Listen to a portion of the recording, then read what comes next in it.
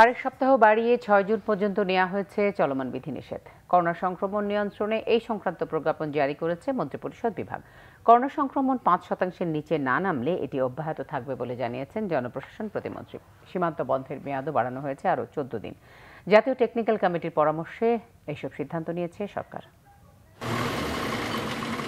দেশে করোনা পরিস্থিতি বিবেচনা করে চলমান বিধিনিষেধ আরেক সপ্তাহ বাড়িয়েছে সরকার।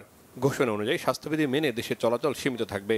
কার্যকরী হয় কিন্তু জনপ্রশাসন প্রতিমন্ত্রী ফরহাদ হোসেন জানান জীবন জীবিকার ক্ষতি না করে সংক্রমণ রোধে নানা পদক্ষেপ নিচ্ছে সরকার। সীমান্তবর্তী এলাকাগুলোর উপরে আমরা বিশেষ নজর রেখেছি।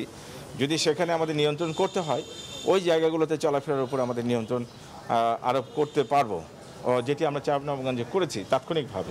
আমরা পরিস্থিতি বুঝে আমরা সিদ্ধান্ত গ্রহণ করব। টোটালি যদি স্বাভাবিক অবস্থায় আমরা নিয়ে আসতে পারতাম তাহলে এটা কিন্তু আমরা চাচ্ছি যে ফাইভ পার্সেন্ট আসার পরে কিন্তু এই যে আমাদের চাচ্ছি যে স্বাস্থ্যবিধি মেনে যাতে করে আমরা কাজকর্মগুলো করতে পারি যেটুকু সম্ভব। আর স্কুল কলেজ আমরা বন্ধ রেখেছি অফিস আদালত বন্ধ রেখেছি। এদিকে দেশের সীমান্তবর্তী কয়েকটি জেলায় হঠাৎ বেড়েছে করোনা সংক্রমণ।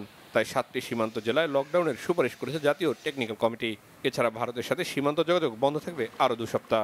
বর্তমানে বাংলাদেশে এই যে বিভিন্ন বর্ডার গুলোতে লোকাল ট্রান্সমিশন বৃদ্ধি পাচ্ছে তাতে বিভিন্ন ভেরিয়েন্টের উপস্থিতি লক্ষ্য করা যাচ্ছে। সুতরাং আমাদের একই সঙ্গে লকডাউনের পাশাপাশি সংক্রমণ কন্টেনমেন্ট করার জন্য যেসব পদ্ধতিগুলো কঠোরভাবে পালন করা উচিত, তা কিন্তু আমাদের সবার মাথায় থাকে। এই জন্য স্বাস্থ্য অধিদপ্তর সকলকে বিনীত অনুরোধ করছে, তারা যেন লকডাউনের যেসব নিয়মাবলী, একই সঙ্গে সংক্রমণ কন্টেন করার সমস্ত পদ্ধতিগুলো যেন সবাই সহ ফলো করে। সীমান্তবর্তী যে জায়গাগুলো আছে, সেখানে এই, এইভাবে অবস্থানটা যেটা আছে যেভাবে, সেটি কিন্তু আরও দুই সপ্তাহ চলমান থাকবে। সেটি আমরা কিন্তু এটাই উল্লেখ করেছি করা হয়েছে। ছত্রিশটা। দেশে বর্তমানে সংক্রমণের হার আট নয় শতাংশ। তাই স্বাস্থ্যবিধি মেনে চললে পরিস্থিতি দ্রুত উন্নতি হবে আশা করছে সরকার। সাতক্ষীরা বিষয় রিশান নাস্টুল্লাহ বাংলা ভিশন ঢাকা।